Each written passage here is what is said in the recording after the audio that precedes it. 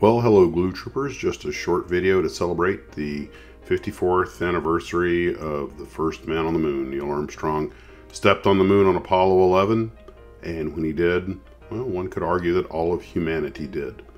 So I just wanted to say uh, kudos to everyone who ever had anything to do with the space program, especially the Apollo missions. Great work. We may have been inspired by Buck Rogers and Captain Kirk, but it was regular humans that did the walking. And I'm glad that the kit model industry elected to represent this well. I'm sure the kit sold well, which is really what they had to do because they are businesses, but I think they rather enjoyed making these kits because, well, I pretty much think everybody was proud.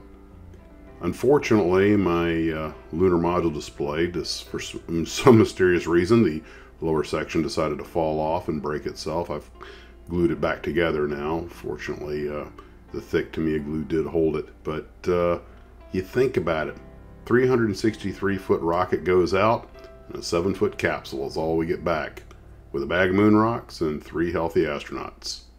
That's still pretty amazing. Take care of yourselves, guys, and as always, model on.